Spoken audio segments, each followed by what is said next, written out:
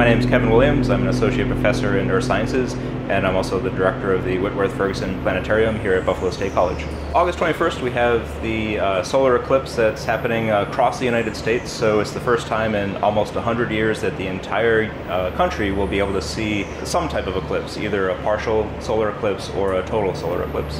What's really exciting about this year is that there's a lot of hype about the solar eclipse, uh, the path of totality, or where they're going to see a total eclipse passes on a path from Oregon to South Carolina.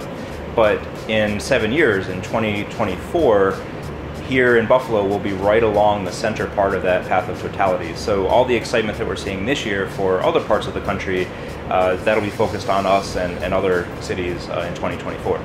Here at Buffalo State, we're hosting a public viewing event uh, on Rockwell Road um, off of parking lot R14 and the reason to come to that was that we'll, we'll not just have eclipse glasses, but we'll have some telescopes with the right types of filters to view the uh, sun.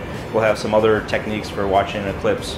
And then we'll have um, around 10 or so activities relating to astronomy for people of different ages. Uh, we're really excited that the public is getting so interested and we can help teach them about it.